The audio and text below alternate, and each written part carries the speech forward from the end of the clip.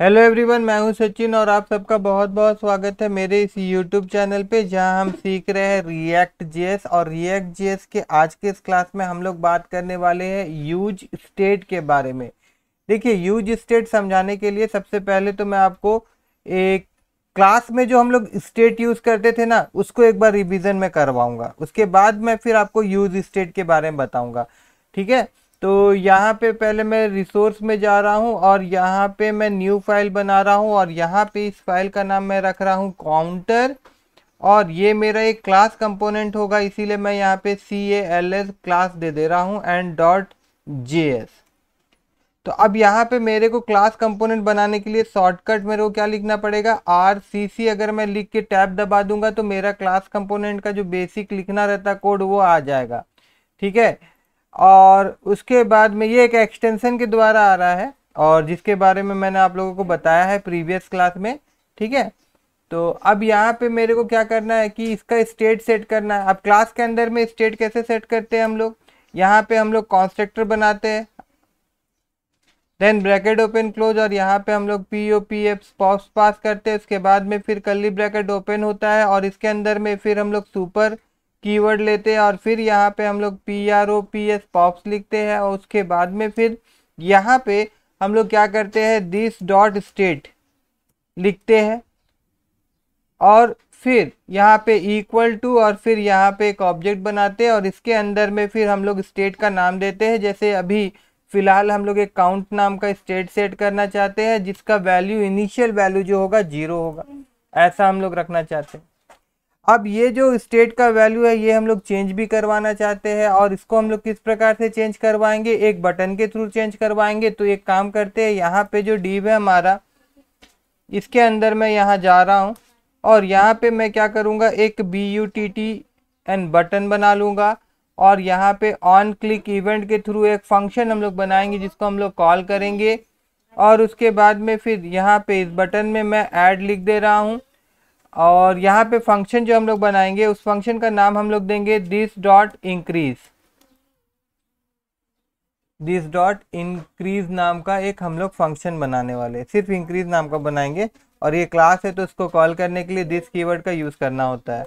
उसके बाद यहाँ पे मैं पैराग्राफ टैग ले रहा हूँ और यहाँ पे मैं लिख रहा हूँ काउंट और उसके बाद में जो इसका वैल्यू है ना this dot this dot S T A T state dot count मतलब हमारा काउंट का जो वैल्यू है, उसके लिए ये वाला की लिखना होता है। इनिशियली इसका वैल्यू क्या है? ज़ीरो है तो यहाँ पे ये ज़ीरो दिखाएगा। मगर जब हम लोग बटन में क्लिक करेंगे तो इसका वैल्यू क्या होगा? इंक्रीज होगा। तो उसके लिए यहाँ पे हम लोग फ़ंक्शन लिखेंगे। तो फ़ंक्शन का नाम क्या होगा? इंक्रीज होगा। फिर यहाँ पे ब्रैकेट ओपन क्लोज उसके बाद फिर ये एक एरो फ़ंक्शन है, इस तरह से। इसके अंदर में हम लोग लिखेंगे this dot set state then bracket open close और इसके अंदर में फिर यहाँ पे एक फ़ंक्शन में ले रहा हूँ। तो इस प्रकार से bracket open close then curly bracket यहाँ पे हम लोग को स्टेट लिखना होता है स्टेट और उसके बाद यहाँ पे हम लोग क्या करेंगे C O U N T count और उसके बाद में यहाँ पे मैं लिख दूँगा state dot C O U N T count plus one, ठीक है? तो स्टेट का वैल्यू क्या हो जाएगा? हर बार जैसे इस फ़ंक्शन को कॉल किया जाएगा तो उसमें एक वैल्यू इंक्रीमेंट इंक्रीज हो जाएगा इंक्रीमेंट होगा, ठीक है ना? तो अब इसको हम लोग देखना चाहते हैं।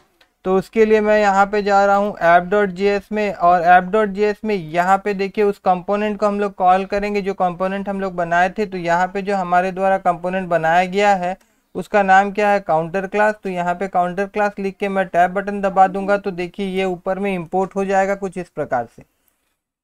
ठीक है? अब इसको मैं ऑलरेडी रन करके रखा हूँ। आप सबको पता ही होगा, अगर आप यूज़ स्टेट देख रहे हैं तो रिएक्ट का ऐप को स्टार्ट करने के लिए एनपीएम स्टार्ट लिखा जाता है।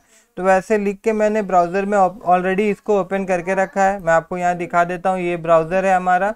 यहाँ पे ये खुला हुआ है और देखिए हमारे द्वारा जो बनाया गया क्लास कंपोनेंट वो यहाँ पे आपको नज़र आ रहा होगा। तो यहाँ ऐड में जैसे मैं क्लिक करूँगा तो देखिए हमारा काउंटर का वैल्यू जो काउंट का वैल्यू जो है, वो बढ़ रहा है। ठीक है ना? तो ये तो अभी हम लोग क्या किए थे? ये हम लोग क्लास कंपोनेंट में ये सारा काम किए थे स्टेट सेट किए थे। मगर अगर आप रिएक्ट का बेसिक पार्ट जो मैंने दिखाया है डे वन से लेके डे नाइन तक, वहाँ पे एक चीज़ आप गौर करिएगा कि जब भी हम लोगों को स्टेट का ज़रूरत होता था तो हम लोग क्लास कंपोनेंट बनाते थे, क्योंकि फंक्शनल कंपोनेंट में हम लोग स्टेट को सेट नहीं करते थे, कर सकते। तो अब क्या है कि हुक में ही अभी जो हम लोग स्टार्ट कर रहे हैं देखिए देखिए एक, एक हुक का सीरीज़ है। और हुक में क्या होता है हुक के द्वारा हम लोगों को मिलता है आपका यूज़ स्टेट और यूज़ स्टेट के द्वारा क्या कर सकते हैं कि हम लोग फंक्शनल कंपोनेंट में भी स्टेट को सेट कर सकते हैं और स्टेट का यूज़ कर सकते हैं।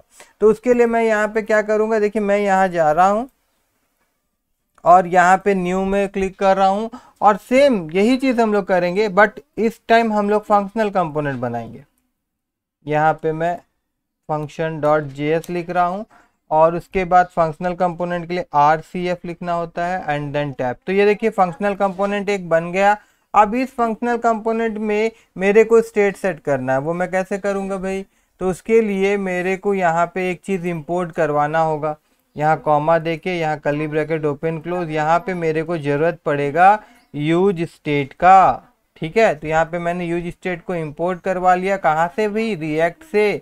और अभी यहाँ पे क्या होगा? यहाँ पे मेरे को कॉन्स्ट कीवर्ड लिखना होगा और यहाँ पे एक एरे के द्वारा हम लोग दो टू वैल्यू लेंगे। दो वेरिएबल हम लोग डिक्लेयर करेंगे। एक का नाम हम लोग यहाँ पे काउंट दे देंगे और दूसरा का हम लोग यहाँ नाम दे देंगे सेट काउंट मतलब जो भी वेरिएबल लिखेंगे ना उसके आगे में आपको यहाँ पे सेट लिखना है। उसके बाद इक्वल टू और उसके बाद में यहाँ पे use state bracket open close अब ये क्या होगा? ये हमारा काउंट का इनिशियल वैल्यू हो गया। जैसे देखिए, यहाँ पे हम लोग दिस डॉट स्टेट लिखे थे और काउंट दे के यहाँ पे ज़ीरो लिखे थे ना। उसी प्रकार से अभी यहाँ पे क्या हुआ कि हम लोग यहाँ काउंट लिखे सेट काउंट लिखे और यूज़ स्टेट यहाँ पे जो ज़ीरो लिख दिए है तो इसका वैल्यू इनिशियल वैल्यू क्या हो जाएगा? इनिशियल वैल्यू आपका ज़ीरो हो गया। किसका? काउंट का। अब यहाँ पे क्या चाहिए? यहाँ पे मेरे को इसको प्रिंट भी करवाना है और एक बटन के थ्रू एक फ़ंक्शन को कॉल करवाएँगे जिससे मेरा काउंट का वैल्यू चेंज हो सके। तो यहाँ पे मैं एक पैराग्राफ टैग ले ले रहा हूँ और उसके बाद यहाँ पे C O U N T count लिख रहा हूँ एंड देन यहाँ पे फिर कली ब्रैकेट ओपन क्लोज और फिर यहाँ पे वो जो वेरिएबल हम लोग यहाँ पे दिए थे काउंट उसको मैं यहाँ लिख दूँगा। उसके बाद में यहाँ पे मैं क्या कर रहा हूँ, देखिए एक बटन में यहाँ पे बना रहा हूँ और इस बटन में मैं लिख रहा हूँ ऐड और इस बटन के अंदर एक इवेंट के थ्रू हम लोग फ़ंक्शन को कॉल करवाएँगे और वो इवेंट कौन सा होगा हमारा? ऑन क्लिक और जो फ़ंक्शन को हम लोग कॉल करेंगे, उसका नाम मैं यहाँ पे दे रहा हूँ इंक्रीज नाम का एक फ़ंक्शन हम लोग बनाएँगे। तो यहाँ से मैं इस इंक्रीज को कॉपी कर रहा हूँ। और उसके बाद में यहाँ पे हम लोग फ़ंक्शन बनाएँगे ऊपर में। तो फ़ंक्शन क्लास कंपोनेंट के अंदर में फ़ंक्शन बनाने के लिए हम लोग को पहले तो कॉन्स की लिखना होता है, उसके बाद में यहाँ पे फ़ंक्शन का नाम, क्योंकि एक एरो फ़ंक्शन में बना रहा हूँ। रेगुलर फ़ंक्शन होता तो डायरेक्ट हम लोग क्या करते फ़ंक्शन कीवर्ड लिखते, उसके बाद फ़ंक्शन का नाम देते। बट एरो की एरो फ़ंक्शन में कुछ इस प्रकार से हम लोग को लिखना होता है। उसके बाद फिर कली ब्रैकेट ओपन क्लोज करेंगे एंड देन यहाँ पे हम लोग यूज़ करेंगे सेट काउंट ऊपर में जो हम लोग वेरिएबल के बाद में जो दूसरा नाम दिया था सेट काउंट वाला, ठीक है? और ब्रैकेट ओपन क्लोज करते हुए यहाँ पे हम लोग बोलेंगे काउंट प्लस वन इसका मतलब क्या होगा कि जब भी ये फ़ंक्शन को उसके द्वारा हम लोग कॉल करेंगे तो ये जो हमारा काउंट का स्टेट है मतलब ये ज़ीरो है तो इसको सेट कर देगा। वन टू थ्री फोर इस तरह से अपडेट वो करते जाएगा, ठीक है? अब इसको हम लोग कहाँ दिखाना चाहते हैं? इसको हम लोग ऐप डॉट जी में ले जाना चाहते हैं। तो ऐप डॉट जी में हम लोग जाएँगे और यहाँ पे हम लोग क्या करेंगे? यहाँ पे हम लोग C O U N T count function देखिए काउंटर फ़ंक्शन मैंने यहाँ लिखा है, इसको मैं टैब दबाऊँगा तो ऊपर पे देखिएगा ये इंपोर्ट हो चुका है। और अगर मैं आपको फिर से लेके जाऊँ यहाँ ब्राउज़र में तो आप देखिए दो दिख रहा है, एक हमारा क्लास से आ रहा है और एक हमारा फ़ंक्शन से आ रहा है, मगर बोथ जो है वो सिमिलरली काम कर रहा है। तो आप समझ ही गए होंगे कि यूज़ स्टेट का हम लोग जो काम है, वो सिर्फ़ इतना ही होता है कि फंक्शनल कंपोनेंट में उसके द्वारा हम लोग स्टेट को सेट कर सकते हैं। तो आई होप कि आप सबको मेरा ये आज का क्लास पसंद आया होगा। अगर आज का क्लास पसंद आया हो तो मेरे इस वीडियो को लाइक करिएगा और मेरे चैनल को सब्सक्राइब करना मत भूलिएगा।